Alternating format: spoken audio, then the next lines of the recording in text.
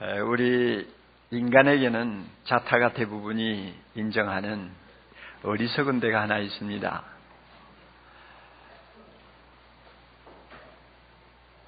진짜 소중한 것은 우리 손에 쥐고 있을 때 그것이 얼마나 소중한가를 잘 모르고 산다는 것입니다. 그래서 그것을 나중에 잊어버리고 내 손에서 떠나고 나면 비로소 아 그게 참 소중했는데 너무 주, 중요했는데 내가 몰랐구나 뭐 이런 소리를 우리가 하게 되지 않습니까?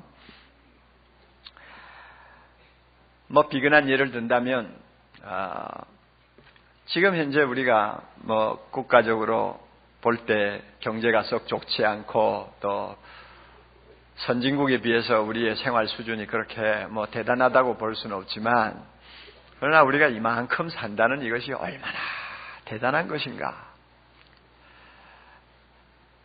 도움물 찬물이 나오는 집에서 또 뭐 어쨌든 자가용도 좀 굴려가면서 그리고 자유와 평화를 이 정도 누리면서 또 내가 하는 일에 대해서 적절한 그래도 보수나 대접을 받으면서 자녀 키우고 가정생활을 행복하게 꾸려가고 있다는 것, 이것이 사실 따지고 보면 얼마나 소중한 것인가. 이걸 우리가 참 날마다 느끼면서 감사해야 되는데 그러지 못할 때가 많아요. 여러분 지난 9일인가 있었던 사건 아시지 않습니까? 그 21, 5명 되는 그 중국에서 나온 젊은이들이 그 뭐 없는 사람들이 돈을 빌려가지고 알선업자들에게 거액을 주고 무슨 한국의 코리안 드림이라는 게 있을, 있는지 그저 여기 와가지고 돈 좀 벌어서 한번 살아보겠다는 꿈을 안고 배를 타고 오면서 한 평짜리밖에 안 되는 그물 창고에 들어가서 숨어 있다가 전부 질식해서 죽었지 않습니까? 나중에는 그 시체를 바다에 다 던지지 않았어요. 어떻게 보면은 막 탄식을 하고 싶은 그런 안타까운 사건인데 그 사건을 보면서 우리가 얼마만큼 그들의 눈에 잘 살기에 저런 모험을 할까? 우리가 그렇게 대단하게 보이는가? 우리가 그렇게 대단하게 보이는 존재인가 하는 것을 다시 한번 우리가 느끼지 아니할 수가 없었습니다. 그런데 우리는 우리 자신이 그렇게 대단한 삶을 사는 사람이라고 인정을 하지 못하고 있잖아요. 이게 우리 인간이 갖는 약점이고 어리석은, 어리석은 어, 부분입니다. 우리 한국의 여성들 그래도 지금 형편에서 보면 참 오늘날 여자로 태어났다는 것을 하나님 앞에 100번이라도 감사할 수 있는 조건이 많이 있잖아요. 50년 전만 태어나도 참 비참했을지 모르는데 그래도 이런 세상에 태어나서 아, 요즘에는 뭐 부인 앞에 떨지 않는 남자가 몇 명이나 됩니까? 참, 그 다들 그 대단한 참 그 인격 대우를 받고 그래도 여자의 권리를 주장하면서 살고 있어요. 그런데 이걸 참 고마운 줄 아는 여자가 몇 명이나 됩니까? 날마다 참 내 신분을 놓고 감사하다. 하나님 고맙습니다 하고 이 소중한 보배를 내 손에 들려주셨으니 고맙습니다 하고 감격하는 사람이 그렇게 많지 않다 그 말이요. 오히려 불만이 더 많아지고 있잖아요. 여러분 아프가니스탄에 있는 탈레반 정권 아래서 지금 고생하는 여자들 한번 생각해 보세요. 우리가 비교를 해보면 우리 여성들의 입장이 얼마나 축복받은 입장인지 알 수 있어요.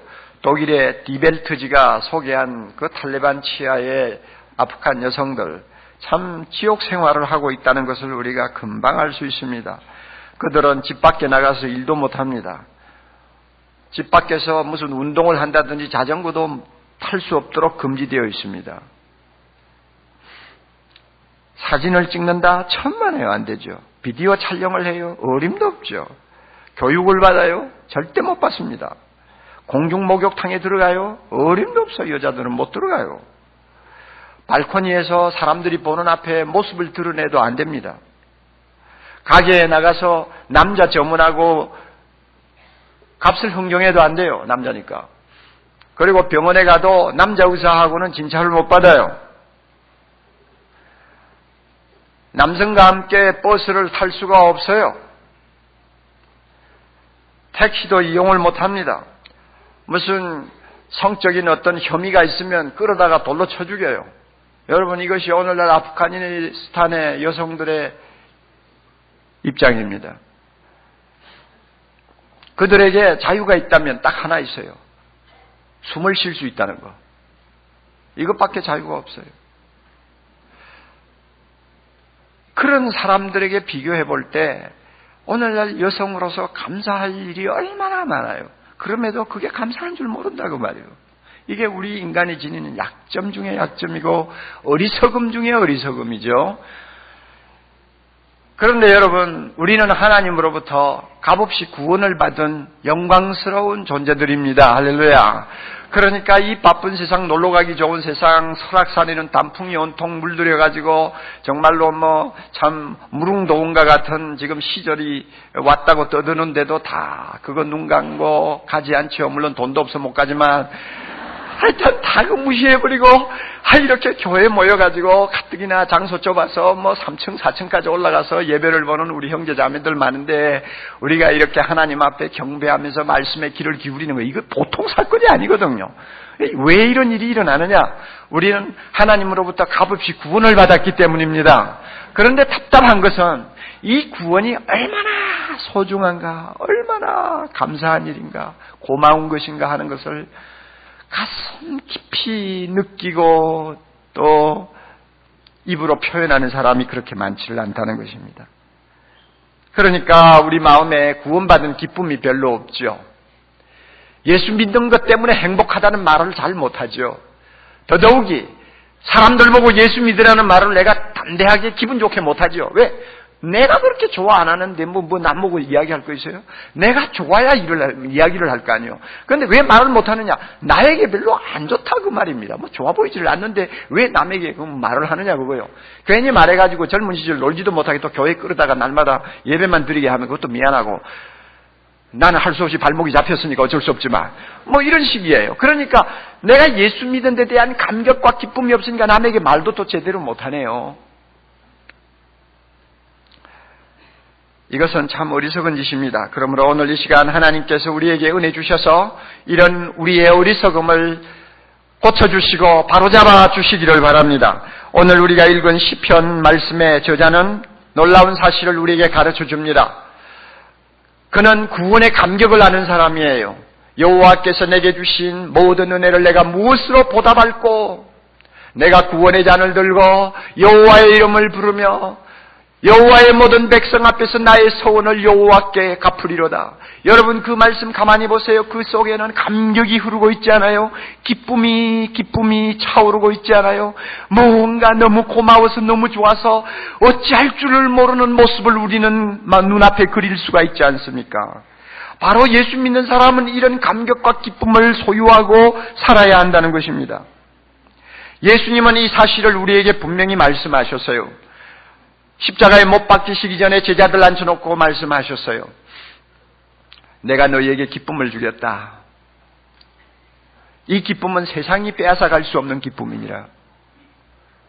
내가 십자가를 지고 죽고 내가 너희를 떠나도 너희 가슴에는 기쁨이 있어. 이 기쁨은 세상의 그 무엇이 와서도 빼앗아가지 못한다. 무슨 기쁨이요? 구원의 기쁨이에요. 이 기쁨을 가지고 모든 족속으로 제자를 삼으라 이 기쁨을 가지고 모든 사람에게 가서 복음을 전하라 주님이 말씀하셨어요. 그래서 보니까 여러분 제자들이 얼마나 기뻐했는지요. 예루살렘에 있는 제자들이 얼마나 기뻐했는지요. 나중에는 매를 맞고 나오면서도 막 기뻐가지고 어찌할 줄을 모르고 그렇게 예수 전하지 말라고 하는데도 눈 하나 깜짝 안 하고 기쁨으로 집에 있든지 성전에 있든지 예수님을 전하고 예수님을 가르쳤다고 사도행전 5장에 기록하고 있습니다. 그만큼 큰 기쁨이 있었어요. 감격이 있었어요. 신앙생활 행복하게 하려면요. 내가 하나님 앞에 구원받은 사람이다 하는 것이 주는 감격과 기쁨이 항상 있어야 됩니다. 어떤 때는 그것이 뜨거울 수도 있고 어떤 때는 미지근할 수도 있지만은 우리의 마음속에는 그 기쁨이 항상 흐르고 있어야 돼요. 여러분 시편 51편에 보면 위대한 성군 다윗이 한 고백이 있습니다. 우리가 잘 아는 대로 다윗은 나중에 좀 권력의 기반이 잘 지금 닦이고 힘을 쓰기 시작하니까 못된 마음을 갖게 되었죠. 그래서 마음에 드는 여자를 소유하기 위해서 남편을 죽이고 그 여성을 자기 아내로 삼았습니다. 왕이니까 당연히 그렇게 할 수 있겠다 생각했을지 모르지만 하나님 보시기에는 아주 못된 죄악이었습니다. 얼마나 다윗이 나중에 회개하나라고 고생을 했는지 몰라요. 그런데 51편에 보면요. 그가 이런 고백을 했습니다. 하나님, 나에게 구원의 기쁨을 회복시켜 주시옵소서 그랬어요. 그 이전에는요, 그런 죄를 범하기 전에는 나 같은 참, 어, 참, 이름 없는 목동을 하나님께서 크게 보셔서 이렇게 하나님의 백성인 이스라엘의 왕을 삼으셨다 하는 그것만 생각하면 자다가도 눈물을 펑펑 쏟기도 하고 그야말로 남에게 하나님의 그 이름을 노래하고 찬송하고 전하지 아니하면 견디지 못하는 막 흥분을 느끼며 살았는데 못된 죄를 범하고 나니까 그 구원의 기쁨이 마음에서 싹 사라져 버렸어요. 마음이 지옥이 되어 버렸어요. 그러니까 나중에 죄를 회개하면서 기도해서 하나님 나에게 구원의 기쁨을 다시 회복시켜 주세요. 회복시켜 주세요. 그렇게 하면 내가 모든 죄인에게 복음을 전하고 그 죄인들이 내 복음을 듣고 돌아올 것입니다. 그랬어요. 그래요. 우리에게 구원의 기쁨이 회복되면 나는 다른 사람들에게 예수 그리스도를 전할 수 있습니다. 내가 예수 그리스도 전하면 내가 전하는 말만 듣는 것이 아니에요. 내 얼굴 표정을 보면서 야 좋기는 굉장히 좋은가 보다.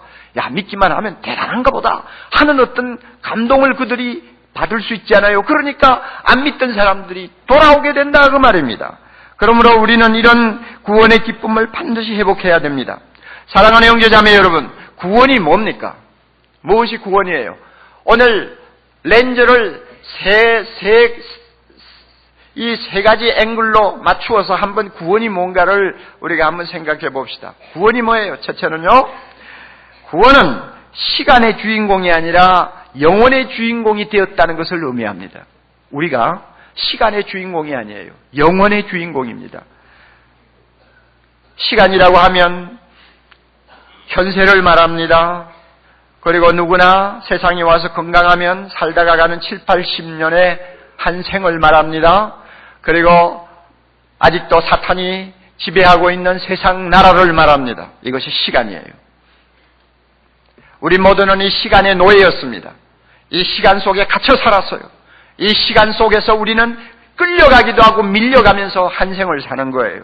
그러나 구원이 뭡니까? 이 시간에서 영원으로 옮긴 것을 말합니다.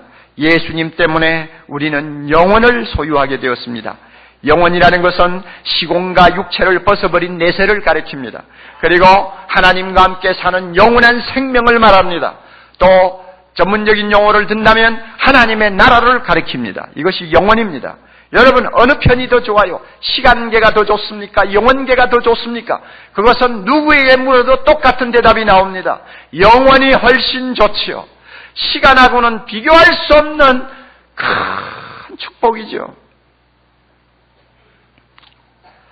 계시록 21장에 보면 이 영원한 나라에서는 없는 것이 다섯 개가 있다고 말합니다.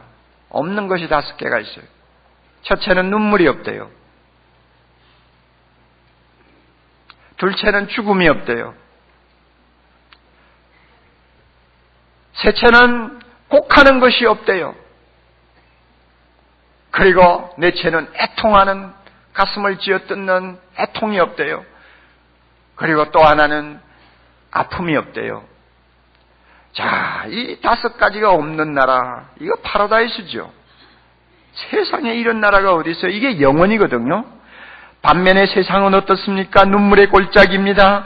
죽음이 홍수처럼 사람들을 쓸어가는 곳입니다. 오늘도 고가고 애통하는 소리가 천지를 진동합니다. 아픔으로 인해서 고통당하지 아니하는 자가 이 세상에 누가 있습니까?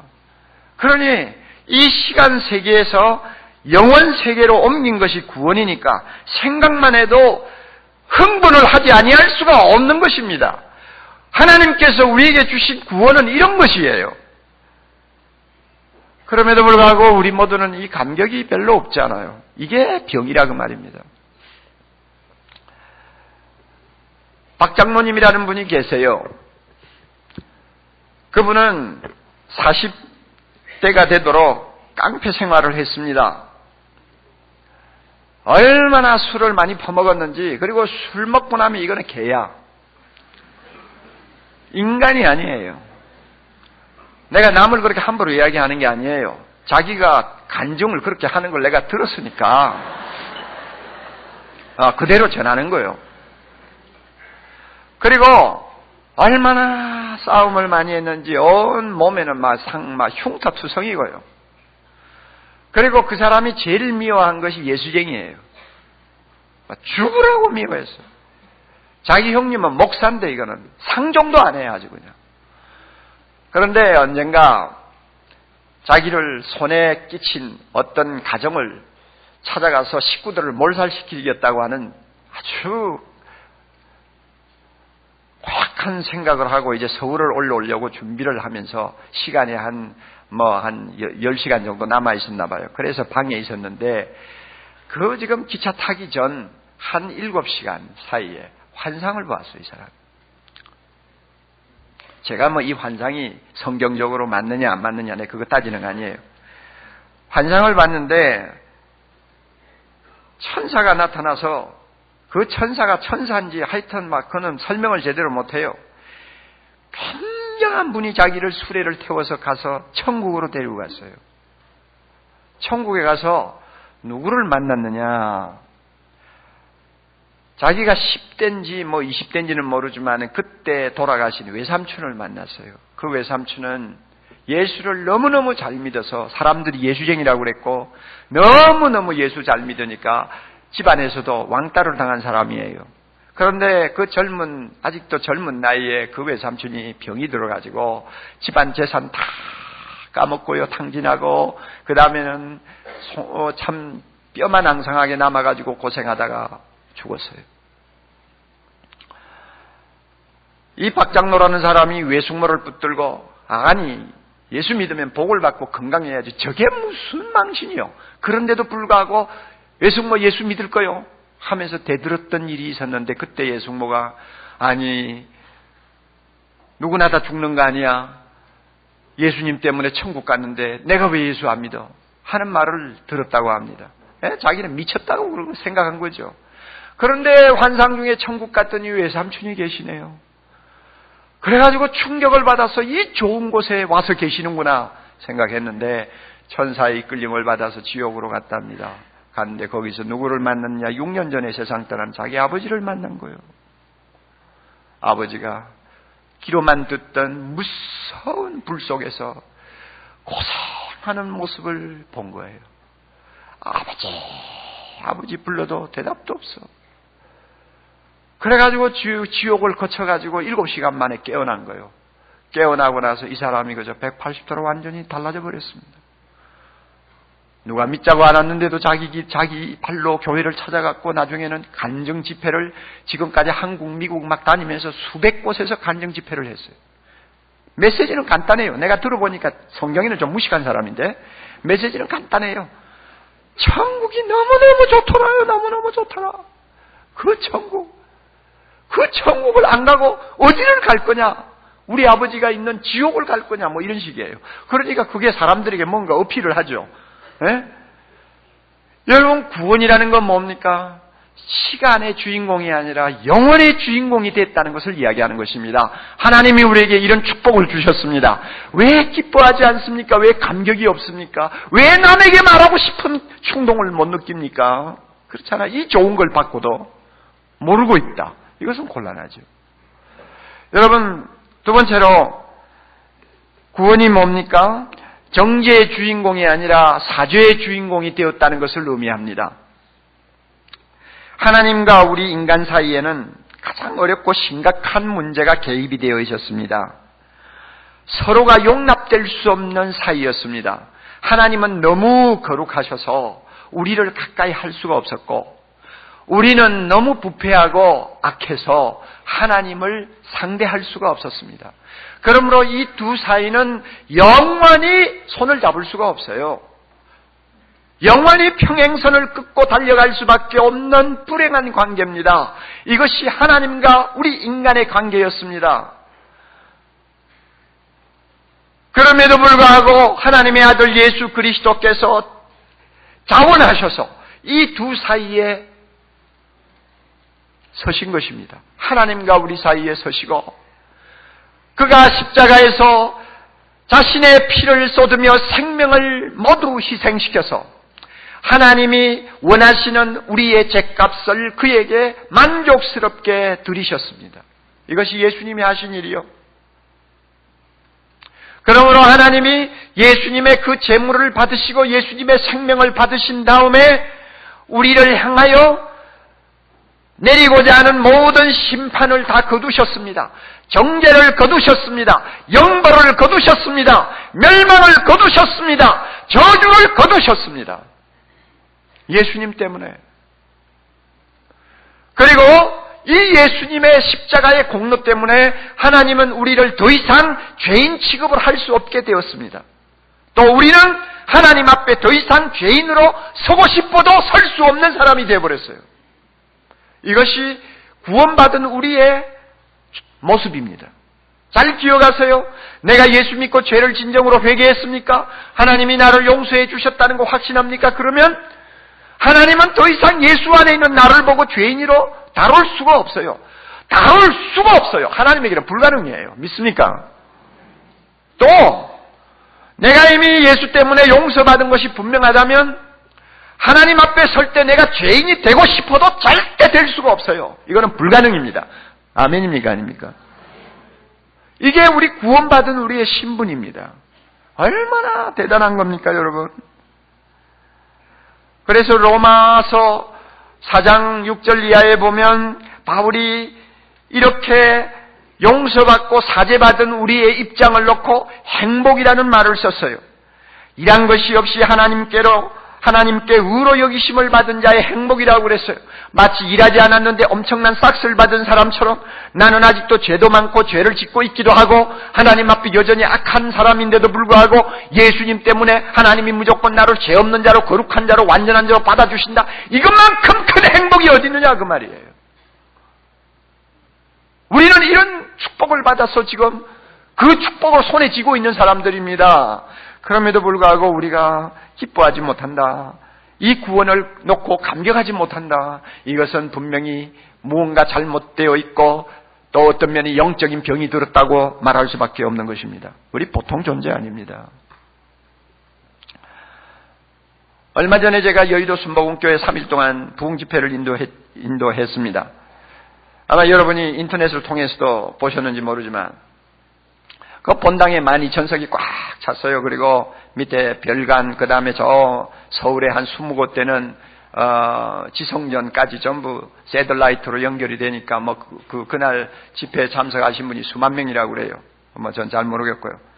그런데 제가 이제 집회를 인도하면서 구원받았다, 죄 용서받았다 하는 것이 얼마나 큰 은혜인가를 이야기하는 시간이 좀 있었습니다. 이럴 때 제가 잘 쓰는 이제 예화를 하나 썼죠. 여러분도 몇 번 들으셨을지 모릅니다. 근데 제가 그랬죠. 여러분, 제 이름 참 외우기 어렵죠. 옥하는 참 힘듭니다. 뜻도 무엇인지 저도 잘 모릅니다. 한문을 가지고 아무리 풀어도 의미가 안 나옵니다. 그래서 저는 이 이름을 별로 안 좋아했어요. 조용기 얼마나 멋진 이름입니까? 뭐, 어? 하고 보면 싹 들어오지 않아요. 그런데 저는 이름이 안 좋았어요. 그러나 제가 참 하나님의 은혜를 깨닫고 참 하나님이 나를 얼마나 사랑하셔서 나를 이처럼 구원받게 하셨나 하는 깊은 은혜를 체험하고 나서는 제 이름을 누구보다도 좋아하는 사람이 되었습니다. 왜 그런지 아세요? 예수님을 알기 전에는 한이 없이 흠이 많은 옥이었지만은 예수 믿은 다음에는 한 개의 흠도 없는 옥이 되었어요. 하나님의 손가락에 낄 수 있는 한 개의 흠도 없는 아주 아름다운 옥이 됐단 말입니다. 예수님이 저를 그렇게 만들어 주셨어요. 이랬더니요. 그 말을 듣는 그 수만 명의 사람들이 막 박수를 쳐요. 내가 그만 놀래버렸네. 왜 놀랬느냐 하면 우리 교회에서는 그런 예를 이야기해도 한 번도 박수 쳐준 일이 없거든.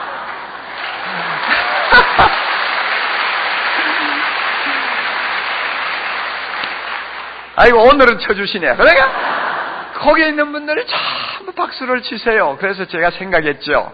내 이름이 특별히 좋다고 박수 친 건 아닌 것 같고 아. 내 말을 듣고 보니 아 예수님이 나에게도 그런 축복을 주셨구나. 한이 없이 흠이 많은 옥이에요. 그러나 한 개도 흠이 없는 옥으로 바꾸어 주신 주님 너무 감사합니다. 아마 그래가지고 너무 너무 감격스럽고 고맙고 기뻐서 막 박수 친 것 같아요. 바로 여러분 구원이라는 게 뭐예요? 바로 그런 거예요. 생각하면 가슴이 뛰지요. 어떻게 남에게 이런 이야기를 안 하겠어요? 그렇지 않아요? 하나님이 용서해 주신다는데 또 세 번째로요. 구원이 뭐냐? 실패의 주인공이 아니라 성공의 주인공이 되었다는 것을 의미합니다. 잘 들으세요, 여러분. 예수 믿지 않고 또 예수 없는 삶을 산 사람은 세상이 그 삶을 어떻게 평가하든 간에 그것은 실패입니다. 실패자의 삶입니다. 여러분이 이 사실을 깨달았다면 굉장한 수준의 이런 신앙인입니다.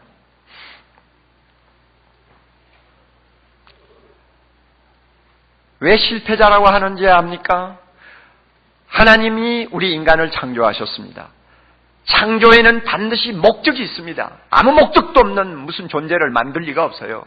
하나님이 우리 인간을 창조하실 때는 분명한 목적이 있어서 그 목적이 뭐냐 하면 창조자 대신 하나님을 찬송하며 기쁘시게 하는 삶을 살다 이것입니다. 그러나 우리가 예수님을 알기 전에는 하나님의 존재를 인정하지 않았잖아요. 그러므로 내가 하나님이 되었고 나를 위해서 인생을 살았고 인생의 모든 화려한 꿈과 비전도 전부 나 자신을 위한 것이었지 않습니까?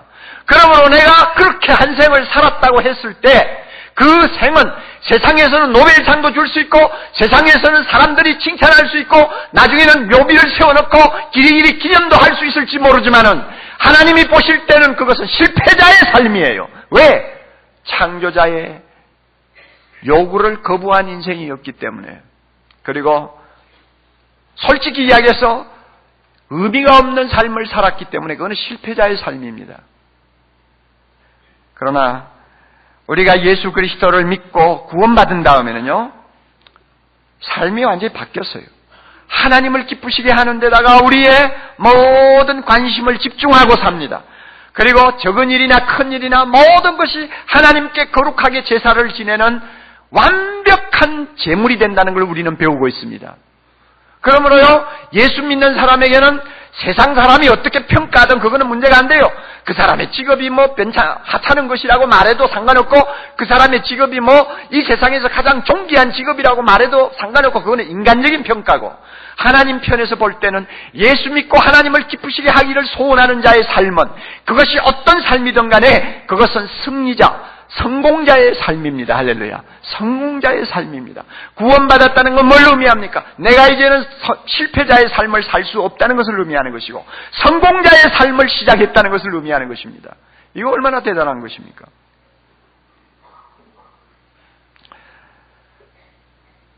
제가 두 사람의 예를 들겠습니다. 한 사람은 세상에서 별 볼 일 없는 사람의 이야기고, 한 사람은 세상에서 그래도 사람들의 부러움을 사는 사람의 이야기입니다. 좀 보세요. 조셉 조렌틴이라고 하는 사람이 있습니다. 아무도 그 사람 이름 아는, 어, 그 사람의 이름을 아는 사람이 몇 명이나 되겠어요? 그럴 수밖에 없는 것이 그는 뉴욕에 있는 고급 호텔인 프라자에서 53년 동안 도우맨으로 직장 생활을 한 사람입니다. 도우맨이 여러분이 잘 아시잖아요. 우리, 우리, 우리 한국에서는 뭐 뭐라고 이름을 붙이는지 모르지만 53년 동안 도우맨을 하면서 살았어요.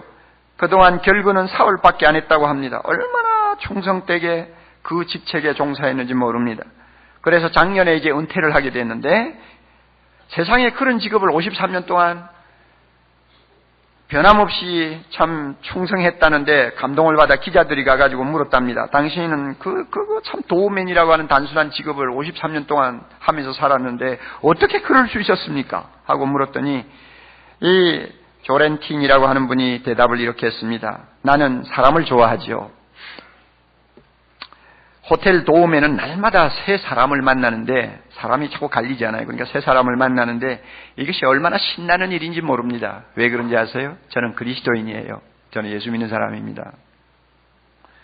손님을 맞이할 때 마치 저는 예수님을 맞이하는 것처럼 합니다. 그리고 기회가 있으면 예수님 이야기하고요. 그러므로 이 호텔 현관은 저에게 있어서는 천국이었습니다. 53년 동안. 천국이었습니다. 여러분, 자기의 일이 무엇이든지 자기의 직업이 어떤 수준의 직업이었던 간에 그 직업을 통해서 하나님을 기쁘시게 할 수만 있다면 여러분, 이런 조렌티니와 같은 삶을 한 생을 살다가 가도 하나님은 그 사람을 보고 이 실패자야 하지 않습니다. 믿어요, 안 믿어요? 너는 성공자야. 너는 성공자야. 착하고 충성된 종아, 이리 오너라. 내가 너에게 상을 주겠다. 주님이 성경에 분명히 이런 사람에게 대해서 약속을 해 놓으셨어요. 얼마나 아름다운 모습입니까?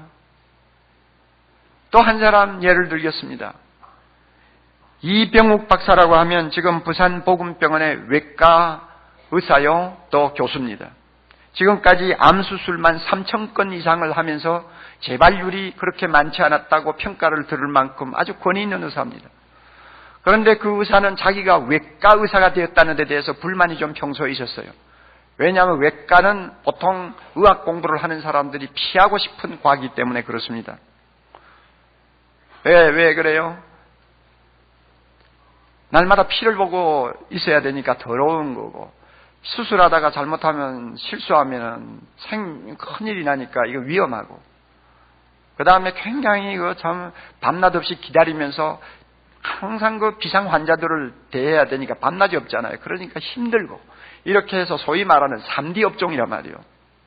그러니까 은근히 불만이 있었는데 그가 은혜를 받았어요. 그리고 나 이제 주님의 새 생명 얻은 몸 옛것은 지나고 새 것이 되었도다. 찬송가에 나오는 가사처럼 그가 은혜를 받았어요. 은혜를 받고 나니 인생의 진정한 행복은 돈 좀 벌어 가지고 남보다도 큰 집에 사는 데 있는 것도 아니고 외제차 사고 사가지고 굴리고 다니면서 남에게 과시하는 데 있지 않다는 것을 알았어요. 진정한 소명은 하나님이 기뻐하는 소명자의 삶을 사는 것이다 하는 것을 그는 발견했습니다. 그렇게 자기의 패러다임이 바뀌어서 자기의 일을 보니까 너무너무 신나는 거예요. 그래가지고 원래는 3D 업종이라고 생각을 했는데 자기의 마음이 바뀌니까 그것이 3D 업종이 아니라 new 3D 업종이 되었어요. 새로운 3D 업종이 되었어요. 왜 그런가 하면 자기 직업이야말로 dream이 있고요. 자기 직업이야말로 다이내믹하고요. 자기 직업이야말로 드라마틱하고요. 아, 이래가지고 꿈이 있는 직업이고 그 다음에는 아주 역동적인 직업이고 그 다음에는 죽었던 사람을 수술해 살리니까 드라마틱한 죽음이고 아 죽음이란다 드라마틱한 직업이고요. 아 이래가지고 이거는 new 3D 업종이다. 아, 그가 그렇게 말을 했어요. 그의 말을 제가 읽어드립니다. 이처럼 새로운 시각을 가지게 되니 삶이 즐겁고 활기가 넘치기 시작했습니다. 그리고 나와 같이 이렇게 성공적인 삶을 아직도 발견하지 못하는 사람들을 위해 나는 틈만 나면 전도를 하는 전도에 미친 사람이 되어버렸습니다. 여러분, 우리가 구원받았다는 게 뭘 의미하는지 압니까? 우리는 절대로 실패자의 삶을 살 수 없다는 것을 이야기하는 것입니다. 어떤 처지에 있든지 어떻게 인생을 살다가 가든지 우리는 절대 실패자가 될 수 없습니다. 하나님을 영화롭게 하는 모든 삶은 성공자의 삶이에요. 승리자의 삶이에요. 이와 같이 우리는 구원받았다 할 때는 영원의 주인공이요, 사죄의 주인공이요, 성공의 주인공입니다. 이런 황홀한 선물을 우리가 받았는데 우리 마음에 감격이 없다면 어딘가 병이 들었지 않았어요? 내가 받은 이 놀라운 구원의 은혜를 남에게 이야기하기를 별로 좋아하지 않는다면 어딘가 고장이 난 거 아닐까요? 내가 손에 쥐고 있는 소중한 것을 쥐고 있을 동안 소중한 줄 모르고 그냥 대수롭지 않게 생각하는 것처럼 하나님이 주시는 구원을 대수롭지 않게 생각을 하고 있다는 것은 이거는 불행한 일이요 비극이 아닐 수가 없습니다. 여러분 이번에 미국의 테러 사건이 나고 나서 제일 많이 부른 찬송가가 사람들이 뭐 교회를 나가는 사람이든 안 나가던 사람이든 제일 많이 부른 찬송가가 Amazing Grace라고 그러잖아요. 아이상 뉴턴이 쓴 어, 곡입니다. 아, 어, 찬송가입니다. 나 같은 뭐예요? 죄인 살리신 그 은혜 놀라워. 예? 잃었던 생명 찾았고 강명을 얻었네. 뭐, 뭐, 사방에서 그 찬송을 부른 것입니다. 그리고 그런 사람들이 교회를 새삼스럽게 나오고 있대요. 그래서 이번 테러로 인해서 가장 어, 최대의 수혜자는 교회라고 합니다. 보통 모이는 것보다도 다섯 배로 사람들이 늘었다고 그래요. 그런데요, 여러분, 뭐 이것도 좋은 거지만 평소에 우리가 그렇게 살아야죠. 어메이징 그레이스를 부르면서 평소에 살아야죠. 예? 테러 만 나서 그 찬송 부른 다음에 그것은 좀 부끄러운 이야기예요. 테러가 나든 테러가 안 나든 평안하든 또 어려움을 당하든 간에 나에게 구원을 주신 놀라운 하나님의 은혜 생각하면 나도 모르게 구원의 잔을 높이 들고 여호와의 이름을 부르며 모든 백성 앞에서 나의 소원을 여호와께 갚으리로다 하는 그런 시편 저자의 감동이 우리에게 있어야 되잖아요. 서, 서원을 갚는다는 말이 무슨 말입니까? 구원을 주신 하나님의 은혜가 너무 감사해서 뭔가 해보고 싶다는 것입니다. 하나님 뭘 할까요? 내 재산을 주님께 드릴까요? 아니면 날마다 다니면서 복음 전하는 삶을 살까요? 아니면 하나님 어떻게 하면 좋겠습니까? 내가 어떻게 하면 구원받은 이 은혜를 조금이라도 갚을 수 있습니까? 하는 것이 서원이에요. 그래서 시편 여자는 이렇게 너무 좋은 구원을 주신 하나님 앞에 뭔가 드리기를 원했습니다. 뭔가 표하기를 원했습니다. 우리 마음에도 이와 같은 은혜가 있어야 되지 않겠습니까? 그래야만이 남에게 가서 이 좋은 구원, 이 좋은 예수, 이 좋은 하나님을 이야기할 거 아니에요. 하나님께서 이 시간 우리 모두에게 구원의 감격을 다시 회복시켜 주시기를 바랍니다. 내 마음에 참 뜨거움이 치밀어 오르도록 성령께서 우리의 마음을 열어주시고 감동해 주시기를 바랍니다. 우리는 영원의 주인공입니다. 우리는 사죄의 주인공입니다. 우리는 성공의 주인공입니다. 이 좋은 것을 손에 쥐고 있으면서 가만히 있지 마세요. 전하세요. 그리고 날마다 어메이징 그레이스를 부르는 감격을 가지고 우리가 이 세상을 삽시다. 그러면 우리도 행복하고 하나님도 영광을 받으실 것입니다. 다 같이 기도하십시다. 자비로우신 하나님 아버지, 우리에게 구원을 주신 것을 감사합니다. 우리에게 영원을 주시고 사죄를 주시고 성공을 주시고 그래서 이 구원의 은혜를 생각할 때마다 날마다 날마다 내 마음속에 찬송이 찬송이 자꾸만 솟구쳐 오르는 감격적인 삶을 살게 해 주시기를 바랍니다. 그리고 이 구원이 너무 좋아서 이 예수가 너무 자랑스러워서 주님이 주시는 은혜가 너무나 벅차서 남에게 말하지 아니하면 안 되고 남에게 이야기하지 아니하면 견딜 수 없는 충동을 우리 모두에게 허락하여 주시기를 바라옵나이다. 그래서 우리 모두 하나님의 백성다운 행복을 가지고 세상을 살 수 있도록 축복해 주시옵소서. 황금이연 그 자리에 일어서십니다. 자비로우신 주님, 우리에게 주신 구원과 우리에게 주신 많은 은혜들을 헤어보면서 주님 앞에 귀한 예물을 드리려고 합니다. 드리는 손길마다 복을 주시옵소서. 그리하여 그 영혼이 강건하게 하시고 육신이 건강하게 하시고 범사에 형통하여 우리 하나님의 기쁨이 되게 하시고 많은 사람에게 유익을 주고 소망을 주는 우리 모두가 되게 해 주시기를 원하옵나이다. 헌금을 바치는 모든 성도들의 마음의 소원을 이루어 주시옵소서. 예수님 이름으로 기도드리옵나이다. 아멘.